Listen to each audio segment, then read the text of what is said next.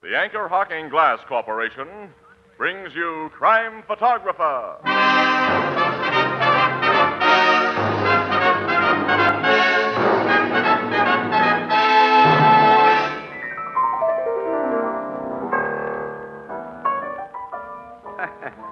Where'd you get the black eye, Ethelbert? At a concert. A, a concert?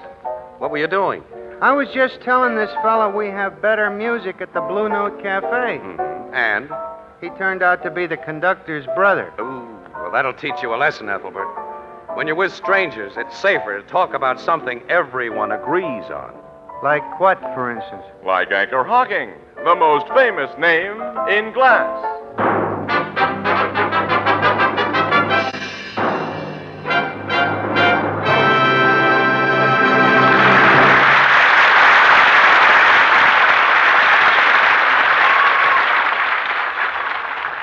Evening, ladies and gentlemen. This is Tony Marvin. Every week at this time, the Anchor Hocking Glass Corporation of Lancaster, Ohio, and its more than 10,000 employees bring you another adventure of Casey, crime photographer, ace cameraman who covers the crime news of a great city. Written by Alonzo Dean Cole, our adventure for tonight Bright New Star.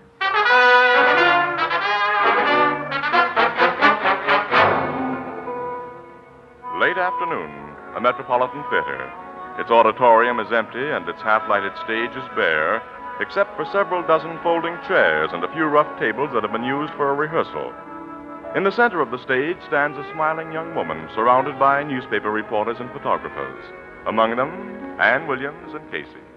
Uh, t- uh, tilt your head up just a little more, Miss Holliday. It'll give you a better neckline. Uh, make the smile a little wider, please. I'll try, gentlemen. That's it. Uh, hold it. There. Now sit down and cross your legs. Huh? Yeah, we want a little cheesecake. All right. Will this do? Uh, pull the skirt a little higher. Like this? Uh, that's swell. Say, you photographers get out of the way and give us reporters a chance. Danny, you can take over as far as I'm concerned. I wasted enough good super pan press film on this publicity build-up. You think um, she's pretty, Casey? Sure, but I think she'd double cross her own mother in order to get what she wants. Hmm, she'll be getting what any woman would want when this play opens tomorrow night. Her name and lights and. Well, if she's half as good as the rave notices she got on the out of town tryouts, she'll be the biggest smash we've had for a long time. Hmm, yeah. Well, go on over and get your interview. I'll have a gab with Hartley Owens. Oh, he's a nice old thing. I'm glad he's finally got what seems an assured success in this play. Yeah, so am I. He must have been down to his last half a shoestring when he got his mitts on this comedy. Well, I'll get over to this bright new star and hear her throbbing success story. Yeah. Join you later. Okay, Annie. Hello, Mr. Owens. Hello, Casey. It was nice of all you newspaper boys and girls to come here today and give me this break. you made sure we'd give you this break. you mean the insurance story? Uh huh. It's a corny old publicity gag, Mr. Owens, but it always works. When we got the release about you insuring your new star for a quarter of a million bucks and then verified the truth of it, well, it made good copy.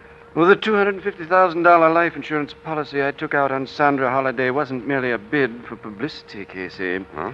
That little girl over there in my play, I've got an SRO hit that'll make me several millions. Without her, I've got another turkey. She's as good as all that, huh? She's sensational. Your press agent said you discovered her in a Chicago night spot, but he soft pedaled beyond that. What's the dope on her? Well, strictly off the record, Casey. She was entertaining in a pretty low dive when I found her. One of Murray Solano's places. Uh oh. I knew Solano when he was running a clip joint in this town. It was a honey. Uh, so is Solano. I'm very much afraid Afraid of what? of complications. Huh? Solano's crazy about this girl. He wants to marry her. Ooh. Well, if she does, the publicity will wreck both her and your show.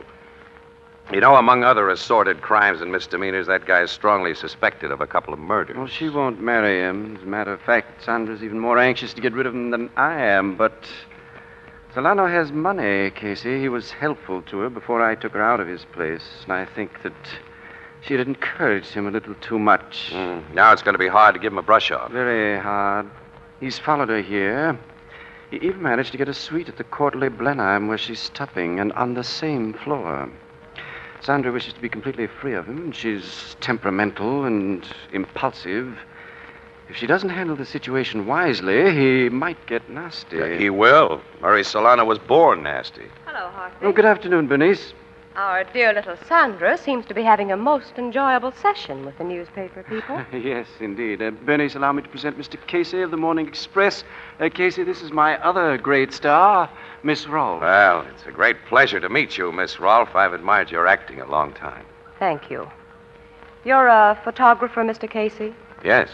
Then why aren't you taking pictures of Mr. Owen's sensational discovery? Well, I've already taken some. I- would like to shoot several of you, Miss Rolfe. That's if... diplomatic Uh, of you, but Bernice, Hart- my dear, um, uh, you know. Yes, Hartley. I know. Good day, Mr. Casey. So long, Miss Rolfe. Hmm. Her nose is out of joint, huh? Oh, she's terribly jealous of Sandra. When this play went into rehearsal, Bernice was engaged for what then seemed to be the stellar role. But when the writers and my other associates in the production saw what we had in Sandra, her part was lengthened and developed, and Bernice's was cut. If I hadn't had her signed to an ironclad contract, she'd have walked out on me. Hmm. Must be pretty hard for her to take. Bernice Rolfe's an established star, and to have an unknown come in and take all the gravy. Well, it made her rather poisonous, to say the least. Yeah. Bernice has rooms at the Courtly Blenheim, too, on the same floor as Sandra and Solano and me. I'm going to have a time preserving peace there as well as at the theater. Say, isn't that Solano coming in? Oh, yes. I haven't seen him in a long time. He's put on a lot of weight. Hello. Well, Casey. Long time no see. Yes, long time, Solano. Been shooting pictures of Sandra, huh? She is something, ain't she? A bombshell, from what I'm told. A guy with eyes shouldn't have to be told. After my first look at her, Casey, I knew she had everything. You've known her for some time? Not long enough.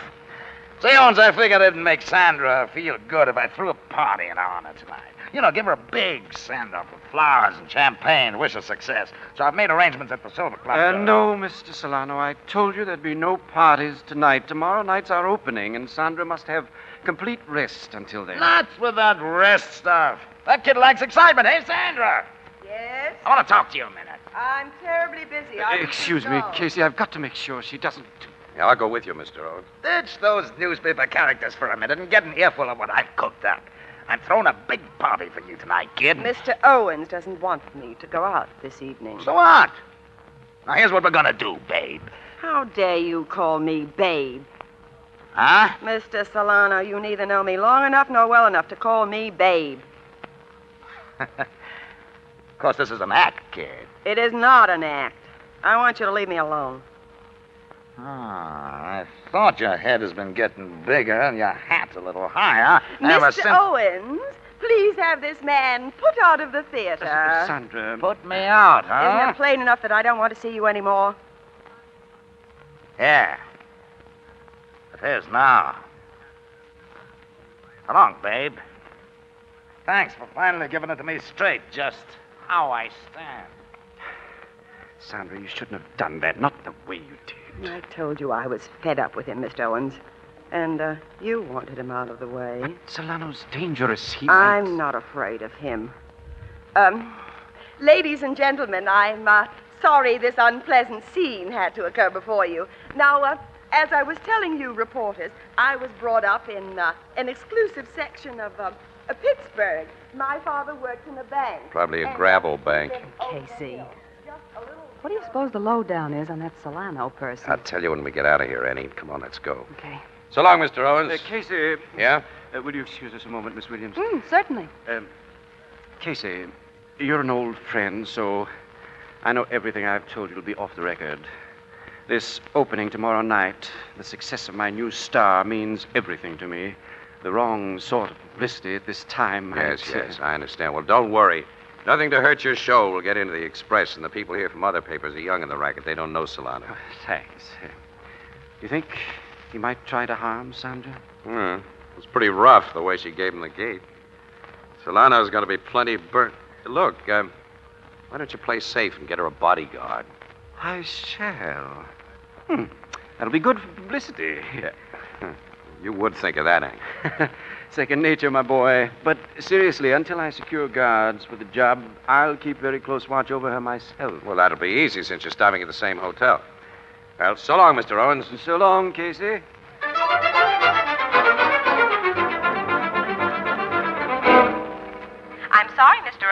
Sandra Holliday doesn't answer her telephone. Well, I'm sure she's in her suite, operator, probably sleeping soundly. She has a breakfast appointment with me this morning, and I promised to wake her with a call, so please try again. Very well, Mr. Owens.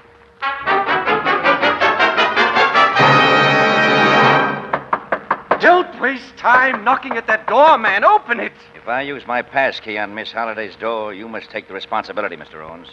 Ladies don't usually like it when house detectives barge in. I'll take all responsibility. I tell you, I've been trying to rouse her by phone for almost half an hour. Don't be worried, sir. She may have gone out. I told her not to go out. Open that door. Here you are, sir. But nothing ever happens to people in this hotel. Merciful Lord. Sandra. Her head's all bashed in. She, she's dead. Dead before she could open tonight. I've lost at least a million dollars. You can think of, of money at a time like this. Yes. And of paying off the man I think has robbed me of it. He's in this hotel, on this floor, if he hasn't run away. Call the police and then arrest Murray Solano.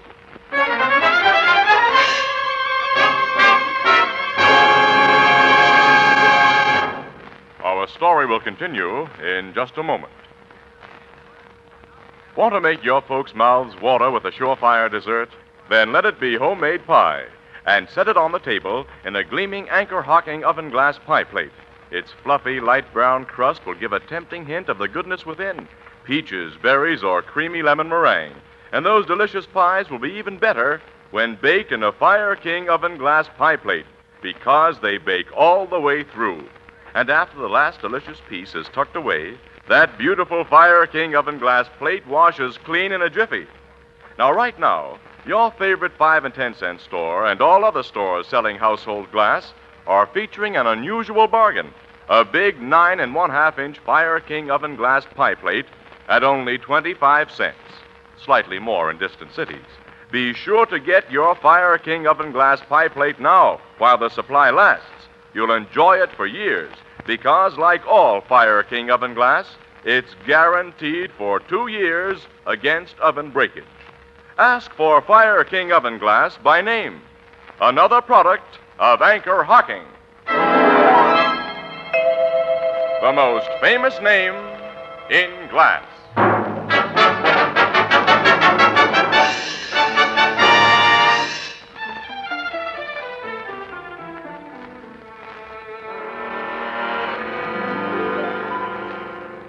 You and this house detective went to Solano's rooms right after you phoned me at headquarters, Mr. Owens? Yes, Captain. Solano wasn't there. The guy left in such a hurry, Captain Logan. He took nothing but the clothes he was wearing. Which means that after he killed Sandra, he lost no time in making his getaway. Casey, have you told Captain Logan what happened at the theater yesterday? Yes, on our way here, I happened to be in Logan's office when the murder report came in. You, uh, house detective, what's your name? Bannon, sir.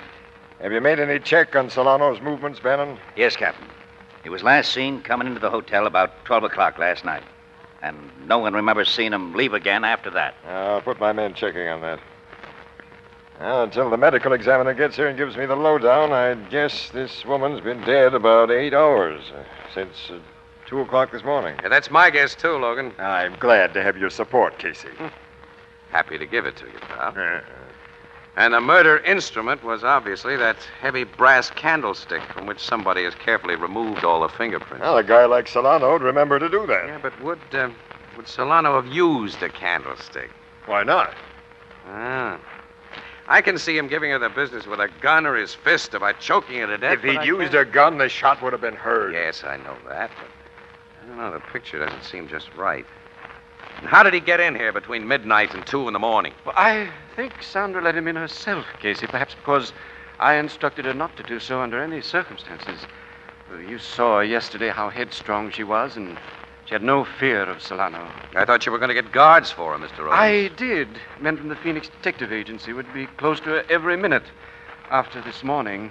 After this morning? Well, Sandra had promised me she wouldn't leave her suite until she accompanied me to breakfast, Captain. I was foolish enough to think she'd be safe there. I'm a man who makes big mistakes. I've made nothing else during the last half dozen years. now, I've made my biggest and lost a fortune. Ah, your show has no chance without Miss Holliday, huh? None whatsoever. Oh, if my stockholders insist, I'll put in another actress and give the thing a showing here, but they'll be wise if they let it drop and console themselves with the return of their investments from the insurance I took out on Sandra's life. Or your stockholders share in that $250,000 policy. Well, naturally. Protects them from all loss. Hey, who are your stockholders? Why, that's a private business matter, Captain. There can be no privacy where murder is concerned. Yes, you're right. Well, as you're probably aware, Captain, conservative businessmen rarely wish it known that they invest in anything as speculative as a theatrical venture. So I must ask you and Casey to treat the information you've requested as confidential. Oh, certainly. Sure. R.G. Whipple, the banker, is my chief backer. State Senator Pearson is the other. Ah, thanks. Now, I have to ask a lot of personal questions in a case of this sort, Mr. Owens. Well, I trust that I'm not under any suspicion, as investigation of my affairs will assure you I had every reason to keep Sandra Holliday alive. Yes, I believe that, Mr. Owen.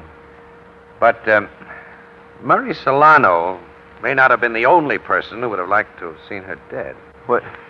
You think somebody else? Bernice Rolfe wasn't exactly a friend of Miss Holliday. Bernice. Jealous women can be as murderous as jilted men. Oh, Casey, I'm sure that Bernice. Hey, what's this about? Well, Mr. Owens can give you the details better than I can, Logan.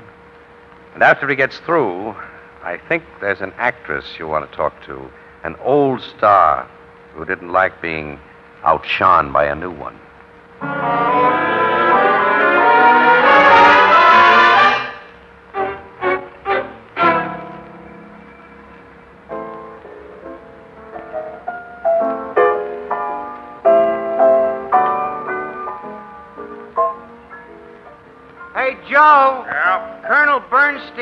Bernstein wants another mint julep, and we're all out of mint. I'll get some right away, Ethelbert. Yeah, uh, make him the julep when you do. Okay.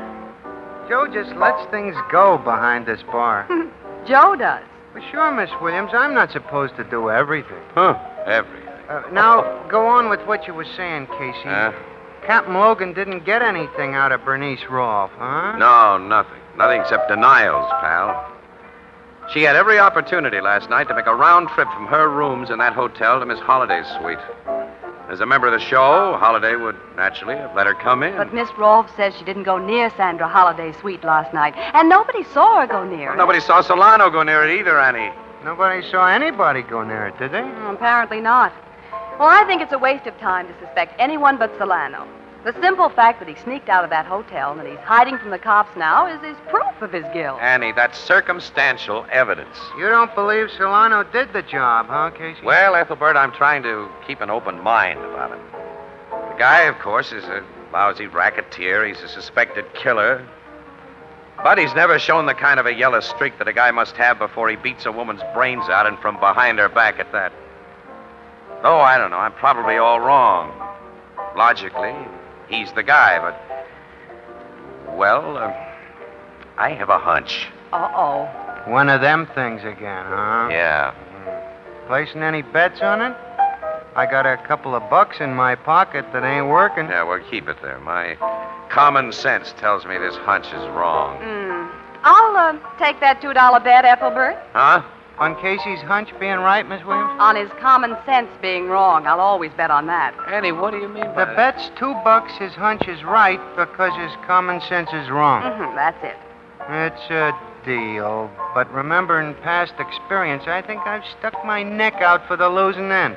Oh, yeah? Casey, as my sister Edna says, quote, people are like onions. They usually repeat. Pardon me. I mean, unquote. Oh, my admiring friend. How's Hartley Owens taking the whole thing, Casey? Everybody says he'd be riding high again if his show could have opened with that girl. well, he's taking it like any guy would who lost a potential million or two. He'll collect on that big insurance policy, of course. Only a small part of it, 20%. 50 grand is peanuts to what he would have made on the show with Sandra Holliday. Who gets the other 80%? His backers. Who'll make plenty on their investments. Say, Maybe one of them backers figured insurance dough was more sure than that show being a hit. Ah, no, and... no, no, no. Forget it, forget it. Logan check the backers. They're both very rich, very law abiding guys who wouldn't have and couldn't have killed Sandra Holliday. How can you say that Big Jim Maxon is law abiding? Why, he ain't even very rich. Big Jim Maxon, what about him? Who runs Maxon's Tavern? I know. You know, he's in the rackets, Casey. Well, and what's Big Jim Maxon got to do with it? He's one of Hartley Owen's backers. What? Big Jim. Oh, you're nuts. He told me he was. Said he bought 20% of the show for 10 grand. He. He told you. Only a couple of nights ago. He asked me to keep it confidential, count of that hard-boiled wife of his wouldn't approve. And he said that Heine Troutman, the gambler, had 20% too. Casey, Hey, this may hey, mean that. Annie, sure, sure. Look, c- come on. We're going to find Logan. Then call on Big Jim and Heine Troutman. Why, Casey? Well, when when we have time to tell you, pal, I, I think it is, it, it'll cost two bucks. Two bucks. Two bucks? Your bet to me, Ethelbert, against Casey's hunch.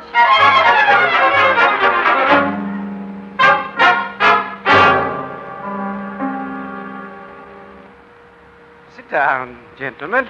No, thanks, Mr. Owens. We won't be here very long. Uh, neither will you, Mr. Owen. I, Casey? Uh huh. Nice suite of rooms he has, Logan. He's going to miss it. I don't understand. This afternoon, I called on the backers of your show, whose names you gave me, Mr. Whipple and Mr. Pearson. I'm sure they confirmed everything I told you. They did, 100%. Yeah, but tonight we made other calls on Big Jim Maxon. Maxon? And Heine Troutman. I don't know what you're. Oh, yes, you do. You sold 140% of your show, Owens.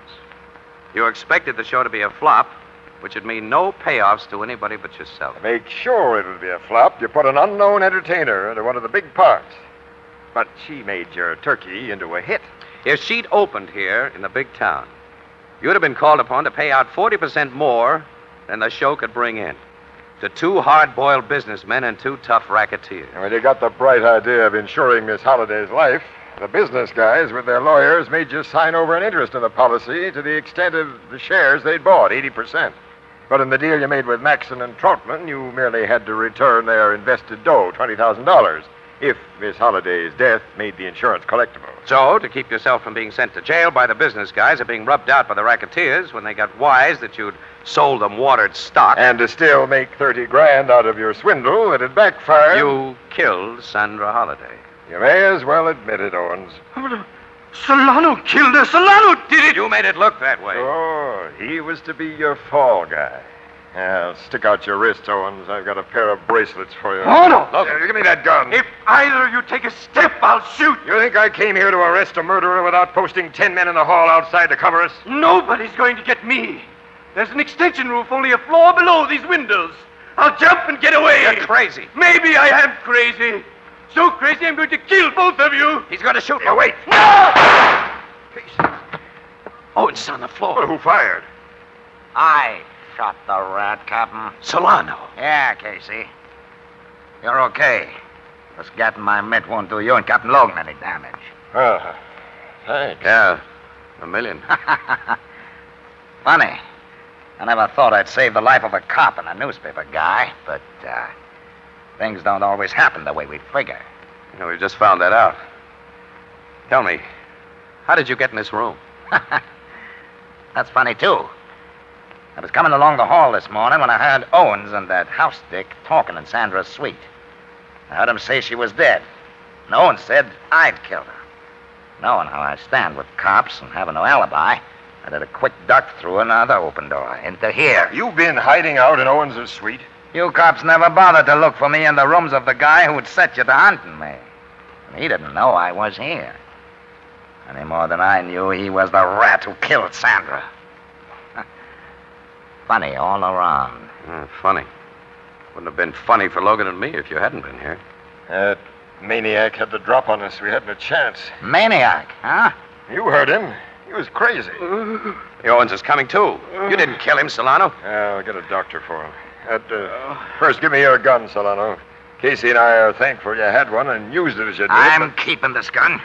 Huh? It's got a little job to do. Solano. The rat who turned my girl against me and then killed her isn't gonna die of old age in an asylum. Solano! Give me that gun. You fool. You can have the gat now, Captain. You're under arrest, Solano, for murder. Sure, Captain. Funny, ain't it? The way you finally pinned me for a rap in the hot seat.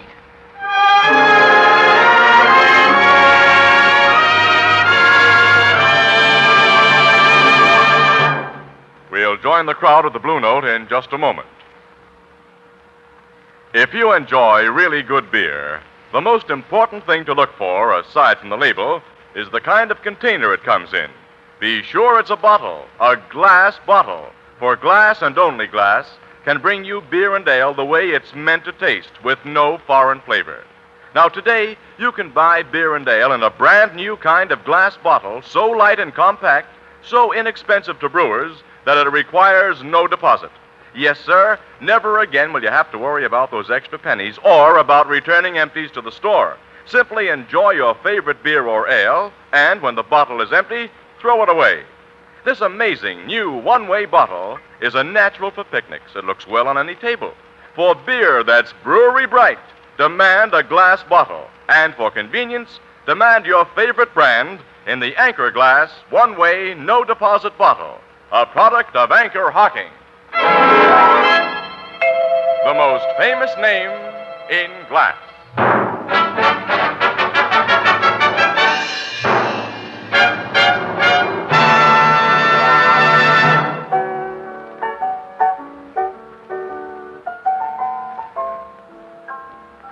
Was funny, Casey, how Solano was finally got for murder. Oh. Well, I'm not laughing about it, Ethelbert. No, he saved Casey's life. And Logan's. Well, not only that, he. Well, hmm, Solano's a bad guy. He's deserved a life sentence or, or the chair for a long time, but, but. No, nuts. I don't know. Say, Ethelbert, I just remembered. You owe me two dollars on that bet. Yeah, my hunch was right. Terrible hot weather we've been having, ain't it? My two dollars, Ethelbert. Yeah, I hope it's cooler tomorrow. What'd you say, Miss Williams? You know, Ethelbert, a better always pays up promptly. Yeah, when it's cooler, it'll be much better.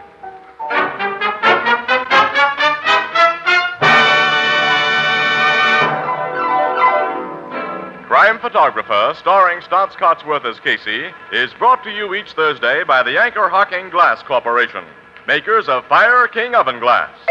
Anchor glass containers, anchor caps and closures. All products of Anchor Hocking, the most famous name in glass.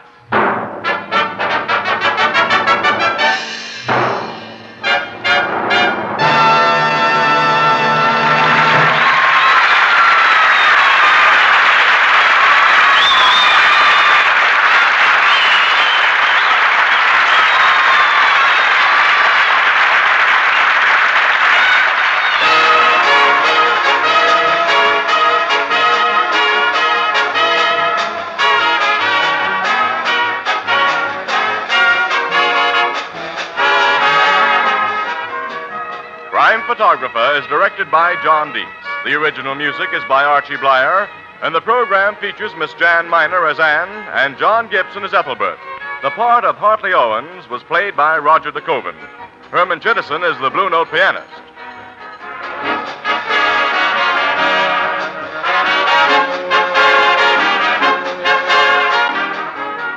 Tomorrow, August 1st, is the 40th anniversary of the Army Air Forces.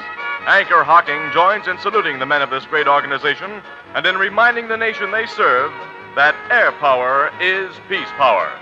This is Tony Marvin saying goodnight for the Anchor Hocking Glass Corporation of Lancaster, Ohio, with offices in all principal cities of the United States and Canada. Thursday night on CBS is the biggest show in town, so stay tuned for exciting dramatizations on Reader's Digest Radio Edition, which follows immediately over most of these stations. This is CBS, the Columbia Broadcasting System.